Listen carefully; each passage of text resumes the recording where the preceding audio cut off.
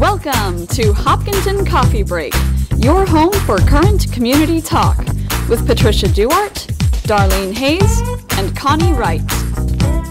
Hello, and welcome to our coffee break. Look who we have joining us today the woman who needs no introduction, Jean Bertrand. Thank you so much for being with us today. Well, I don't think we've ever had you on our show, so I know. Welcome, I don't think welcome. So. Thank you very much. It was very nice of you to invite me. Absolutely. And I like your red coffee cup. Yeah, and, and, and, and you're dressed red appropriately. Today. Absolutely. Yeah. So we're so happy that you're here, and you're going to talk to us about whatever you want, but certainly live for Evan. Okay. And, the, and yeah. what's going on there. Great. Yeah. yeah. What's your involvement with the organization, first of all? Um, I started with them, well, I've been a volunteer for many years, but I started officially with them in October as their executive director. They have gone through a process of sort of um, strategic planning and um, refining their mission and decided that they wanted to bring an executive director on board. So um, it's been great. It's been a very busy couple of months. I have to stop and think that actually that's a fairly short time, but, um, but it's a great group of people. Well, and, and you been in town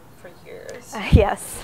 and raised your three children. Four. Four. Yeah. Four. I'm sorry. You know, One of them might have raised themselves. Yeah. no, no, no. A whole lot of girls. Uh, yeah. yeah. yeah. All Yeah. girls, So- All yes, girls? all four girls. Oh, wow. Yes. Yeah. Uh-huh. And you've been involved in a lot of things in town too. I have been. Yeah. Oh, no. Yep. Well, so have all of you. I mean, it's nice. Well, it's no, a it's a great way to just feel connected to the community. You all have been really Well, really your whole family's been very well. involved, from your kids Yep. being involved, giving back to. I remember meeting your husband when Melissa was in like kindergarten, Yes. and he was already a seasoned like soccer coach at He that point. soccer coach. And He was. Uh, we yes, he met. was. I know. You know, yeah. so it's a- I it's think a whole he coached about hundred soccer teams, or Oh soccer and basketball. Oh Wow. God. To get I, I mean, I together think most over the know you're in years. town from school committee, but I don't know if a lot, and a lot of people don't realize is that you were behind the scenes that coordinated the whole 300. That's true. Right. Yep. Yeah. That was and a great. and that a was a huge year. experience, which now is carried on to Family Day. I know. Yeah, and they are crushing it with um, it with Family Day. a legacy out of this. So it's really Yeah. cool. Yeah, yeah. Well, that's what we hoped. I, that was I did my my time, but I'm thrilled that other people, um, you know, picked it up and are carrying it on because it, it was it's, It's just a great great community feeling. I love that it's on the same day as Poly Arts. I Me think that's really. Um, Yeah. exciting and you know it's just a day that a lot of people come back and look forward to and just Yeah. you know So- seeing each other catching up in Hopkinton it's So great you've been really involved in the town. Coming on board with Live for Evan in October is right after they do their 5K. that's right And then to launch into doing a gala and their first ever is a huge undertaking. Yeah, um, yes, and in the in between, we've added a couple of programs. So they've they've been very busy. They have a lot going on. Um, but yeah, so we're having. They've wanted to do a gala for a while, so we're having our first annual red tie affair on um, on Saturday, March 3rd at the Crystal Room in Milford. And this is only a week away. yes, it's only a week away. So if I look a little red, it's 'cause I'm a little stressed. Red tie. yes, um, but uh, but it, it, will be really fun. We're exciting. We're excited. Uh, we probably we're expecting about 200 people, probably. Although tickets are still um, being sold, and uh, it's going to be really, uh, I think, a fun event. We're trying to do some things that are a little bit different. We've all been to a lot of uh, It's, auctions it's, it's and definitely galas. going into gala season. So it's hard, yeah, it's hard to differentiate yourself, but um, they've wanted to do this for a while, so it's marking the end of Heart Month. February is Heart Month. So it's marking the end of Heart Month and just kind of a big celebration of, of, and a thank you to people for supporting them for so long. Um, but an exciting, excuse me, announcement about what's coming down So the road. let, let's back up. Let's talk about the Live for Evan mission Mm-hmm. and all the wonderful things you guys do. We've had um, Mike Girardi and Shane Lavoie on the a show. couple times.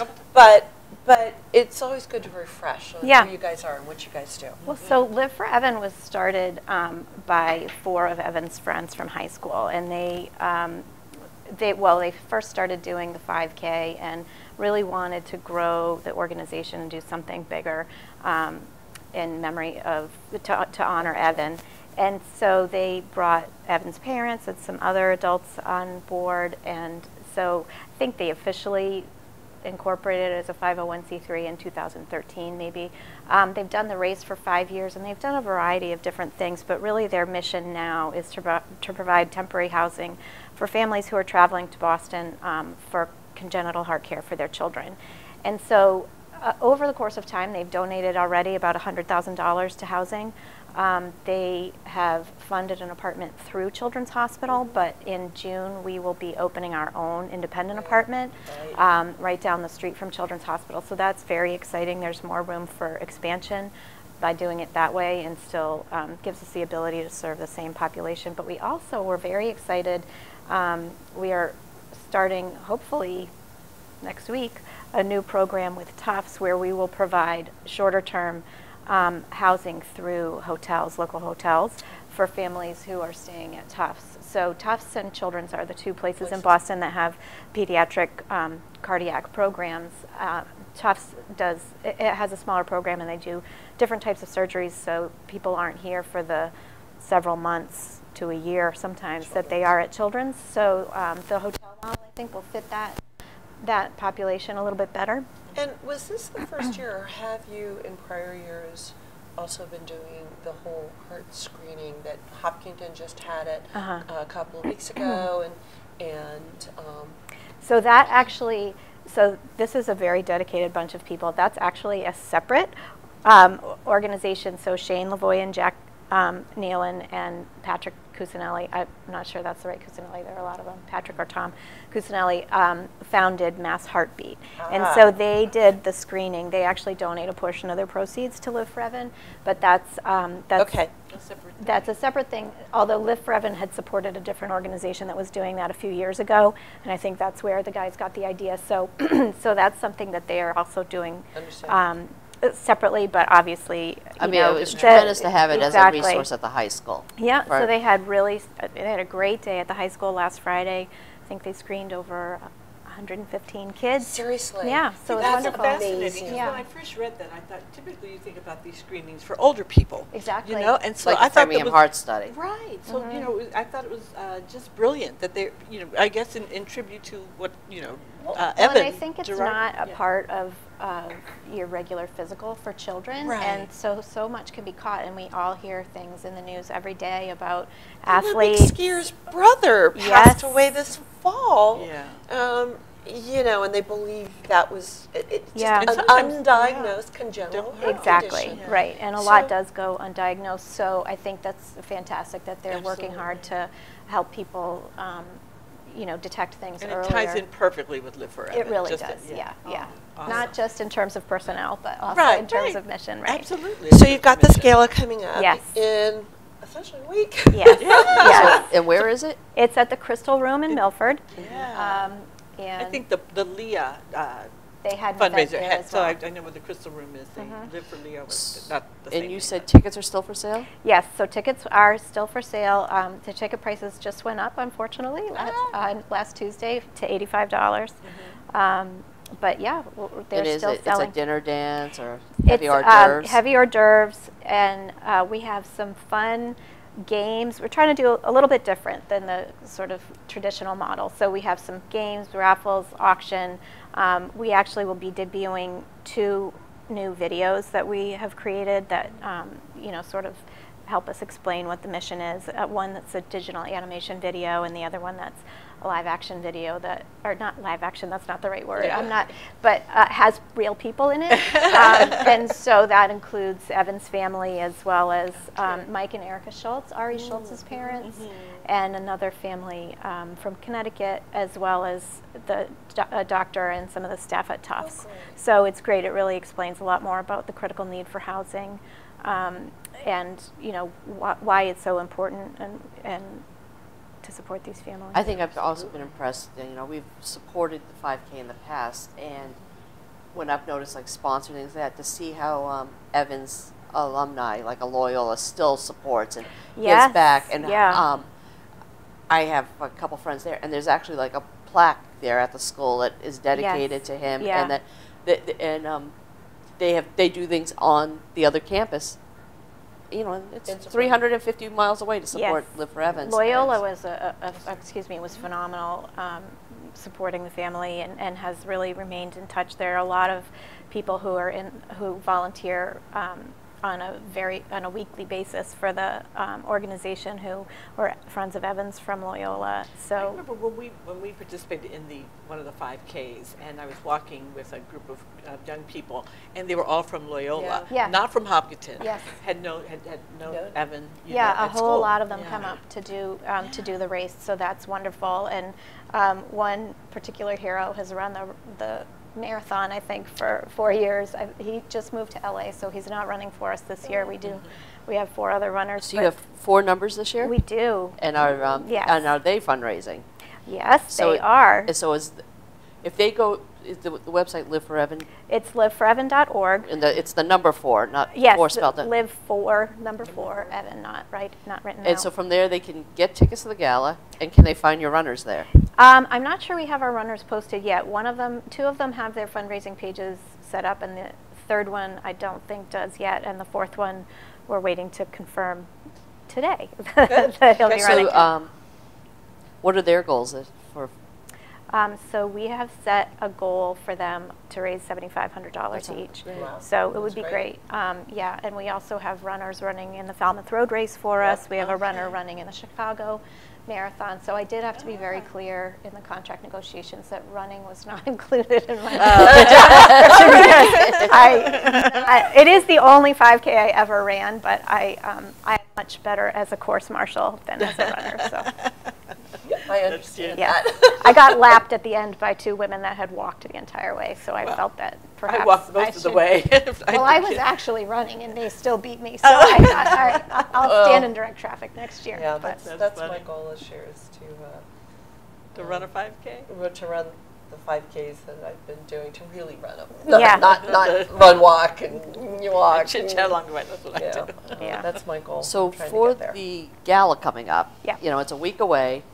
Is everyone asked to wear red? Um, I mean, you said men black tie or red tie. I What's saw Yes. a little something about red, wearing They're red. invited to wear red, um, and yeah, so, but certainly you don't have to. Um, but yeah, we're hoping that people will really embrace the color and the theme. We wanted to make it red, um, you know, because of Heart Month and Heart Awareness, but, um, and we wanted it to be, you know, not as formal as a red, I mean, Yeah, excuse me, as, as a a black black- tie, um, but to. Have some but- festive but to air be to fun, it. yeah, We have a so a little bit different. it has flowers That's right, yeah. very like. And this is our logo that another one of the volunteers, one of Evan's classmates, designed. Oh, so for this the is our logo for the logo for the gala. for the red Yeah. tie. That's, That's right. awesome. so it takes their logo and incorporates incorporates it Brilliant. into the little red tie. Yes, so So she's very clever. this inaugural gala, um, is it mostly kind of local uh, families attending, or it doesn't have a broader reach with people coming? We do have um, a lot of people from the area who have been involved in the organization for a long time who are attending, but we also um, have some of the staff from Tufts who are coming, some of our sponsors, the managers of the apartment building where we'll be renting our apartment are coming. So, um, yeah, we're really hoping to draw a, a broad base of people Good. um, to the celebration. Now, do you guys have an office space now? Um, the office space would be the couch in my dining room. It works. Yeah, Um, it's very That's a convenient. great my commute, commute. is excellent. yes, my I share an office with my dog. Um, so no. I remember when you had the little horses. You Oh, like the- yes. you- Yeah, She not had anymore. miniature horses in her front lawn. Really? And Yes. you Wow. are, let's, we didn't really go into, a lot of times we asked our guests to talk a little bit more about themselves. Oh, goodness. You are an expert quilter. I am. That's true. Oh, right. Well, I don't know if I'm an expert. I am Uh, a well, prolific. okay. I, I I have been doing it for a long No, time. you're talented. You know, And the you've done- HCA had the quilt show, and I Yes. hope they have it again. Goodness. yes, we They are will? having it in September. Yeah. Yeah. Because I was blown away at the artistry and the just the sheer magnitude of these quilts, and you are right in there with your with your beautiful. Well, um, that was such a beautiful. We've had our It quilt shows there. show. We've had Yeah. ten i- in the 20 years. We've had them always in the house. So this Yeah. was the first time we were able to do it in the barn. And the venue in is. the venue. I mean, you could put anything up there, and it would look amazing. It's just so beautiful to see it all hanging But from the beams. That's when I first understood that, that you were such a talented quilt Oh, artist. I wow. mean, but wow, just Thank you. beautiful. Thank you so yeah. much. Well, that's my You hobby. give so That's how we all have yeah. something to do to relax. So, Yeah. Now, did you grow up in the area? No, I grew up all over the country, but Really? my my father's family is from Western Mass, and they've lived in the same on the same piece of property for 300 and something ever, something Wow. Years. You've been in town So, yeah, when did you 20 move to years. Hop- We've been here for 26 years. Yeah. Okay. Yeah. So- All your kids grew up That's here, right. and and so, So was your father in the service that you moved around a lot? No, my father was a banker. There's no reasonable explanation as to why we moved so frequently. We just did. Your family just like changed, kind of like ours. We didn't move far, but we moved around a lot. Yeah. Changed schools a lot. Yes, And we we did did. too. Yeah. Yeah. Yes, And I we never, never learned my 11 and 12 times tables because it was You in know what? I fourth grade learn- one place and fifth grade I another never place, learned and I- fractions see? because of that. You have We these all have a gaps. gap. But you Exactly. know, It's kinda strange. It is, but I think you learn a lot of uh, resilience and being able to jump into situations and people Yeah. when you have to just start making friends because you you, you know you're, you're new. I was a new kid all the time, and so you know integrating into situations became a skill that you Mhm. learn. Yeah. Yes, exactly. Well, it's a good skill So- to have as an adult. Long-term vision, you've moved around a lot, you've seen other cities. Do you see the Live for Evan model where you guys can expand it into other areas? I mean, that would be wonderful. I think, you know, arguably Children's Hospital is the place that people come from, From around the all over the world Yeah. um, for groundbreaking surgery. And so I think Boston is the best place to start. Yeah. And Right. certainly that's why the Girardis moved here. They moved here to be, they moved here oh, they from actually, California. they actually moved here. they were in Southern California. That's where the- right. where when their Evan city of was hope. born, and Ah. um, they moved to Boston to be close to Children's Healthcare. Hospital. Yeah, I Um, mean, I- Really? well, Mhm. I didn't Yeah. Evan So, and my son were friends. Yes, you know, and yeah. then, yeah, Barbara had told that story. They moved here um, because Because of of Evan's healthcare. Yes. condition. I- Yes, he was their oldest, Hospital. and they just said, you know, we got to be gonna go where where they- the healthcare is the best. Wow. And so, Yeah. yeah. And the surgery that eventually that Evan had didn't even exist when he was born. And so, you know, so at any rate, I think to your point, Boston is, is definitely the place The to start. But we're very excited about this idea of this sort of a new concept around the hotels. Um, and that's, um, that will be a lot more flexible in terms of accommodating people for a shorter term.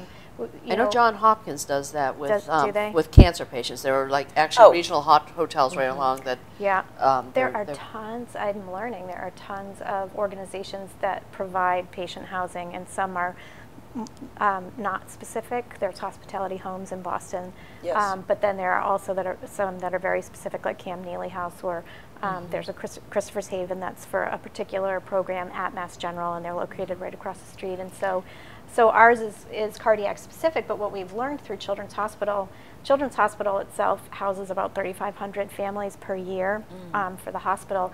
And of that, I think they said 36% are cardiac patients, Wow. families.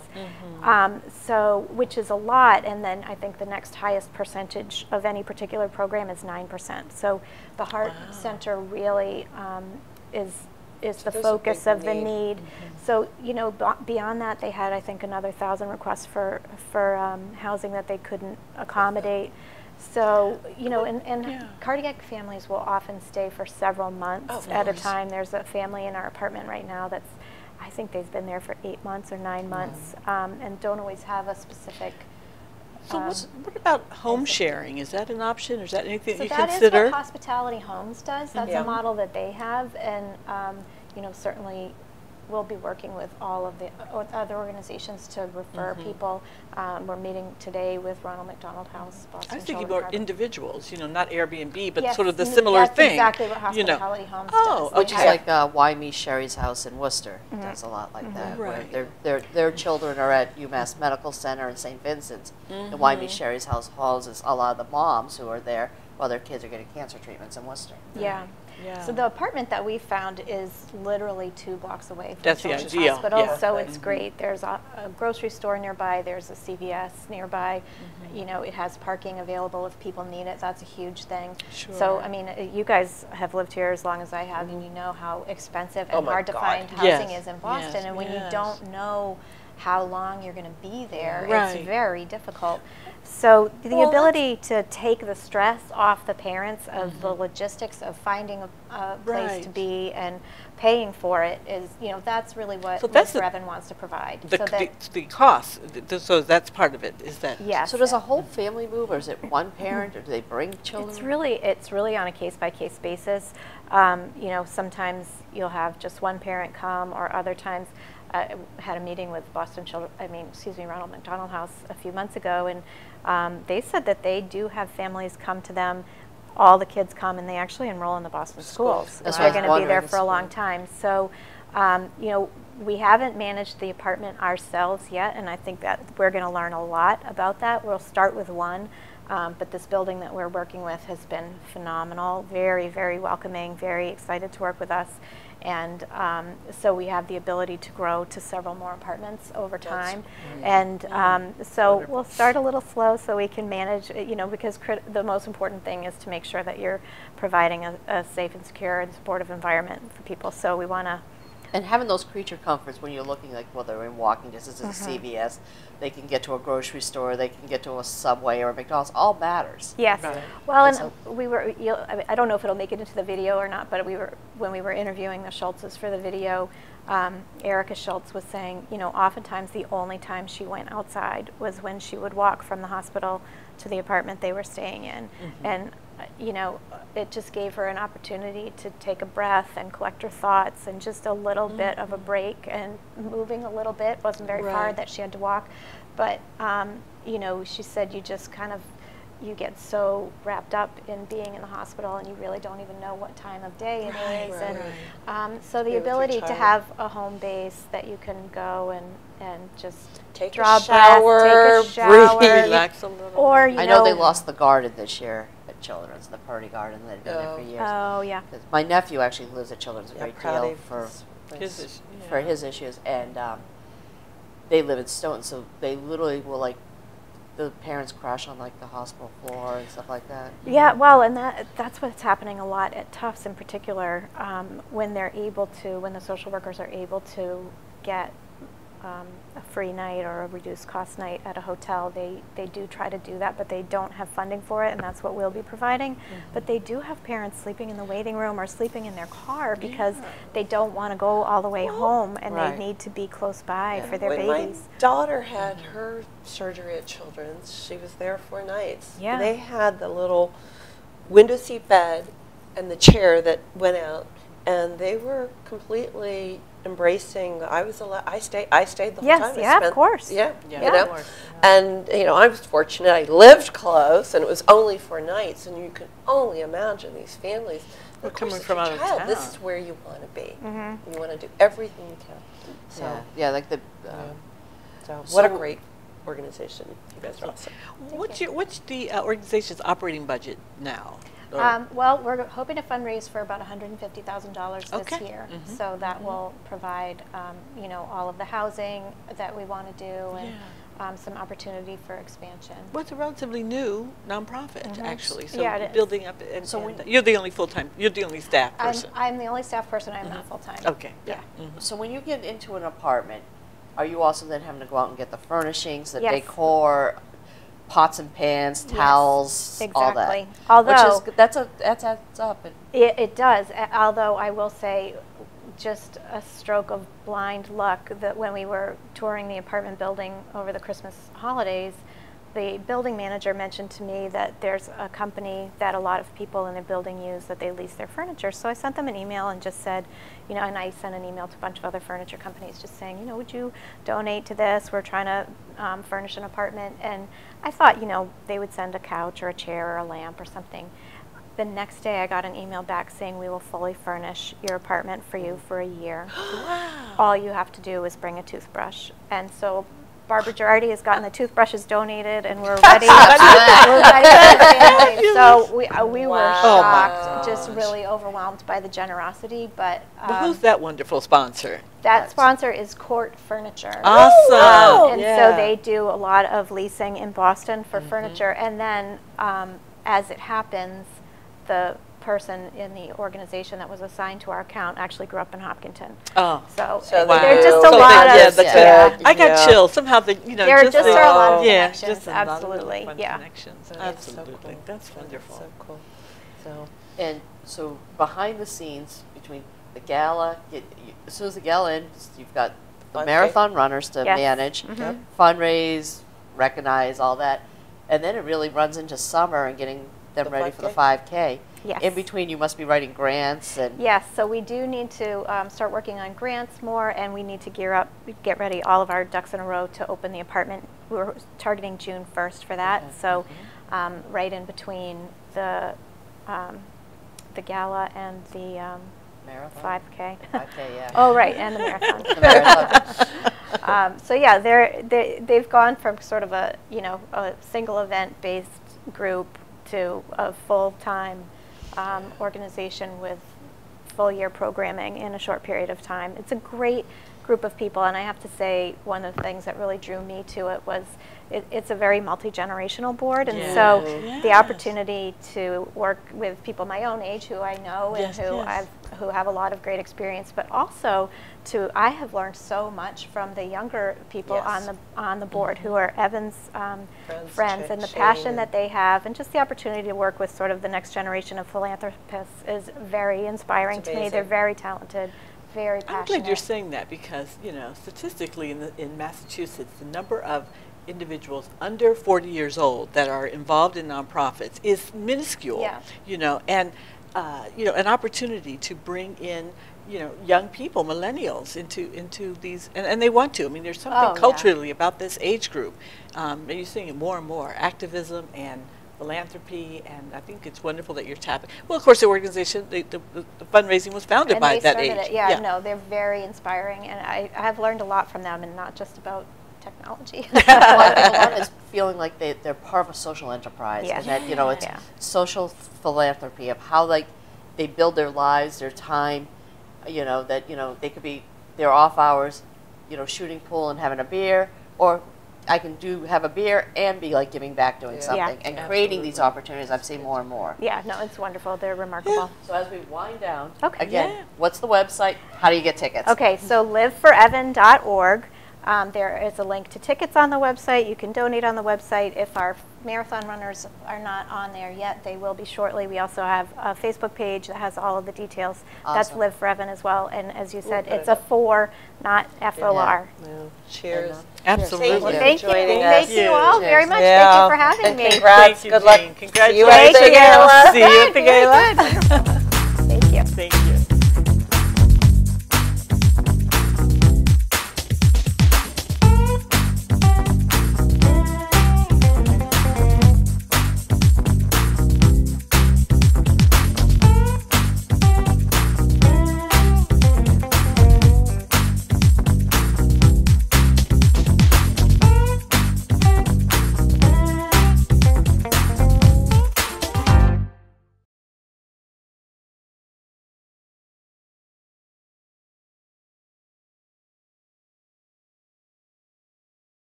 is I'm Haley. Hi, my name is Jake. We're the Hiller volleyball team. My name is Emma. My name is May. My name is Shelby. My name is Sophie. We're Alma Gal, and we love HCAM. And watching uh, camp. We love HCAM. And I volunteer for HCAM TV. And I watch H Camp TV. And I love HCAM TV. And I love H Camp TV. We love HCAM TV.